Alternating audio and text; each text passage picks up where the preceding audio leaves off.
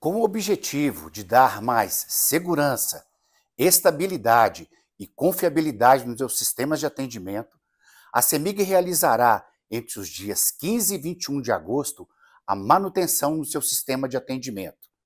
Neste período, os serviços essenciais serão atendidos normalmente pelos nossos canais de atendimento, pelo WhatsApp, pelo 3506 1160, pelo 116, nas lojas da CEMIG e através da agência virtual.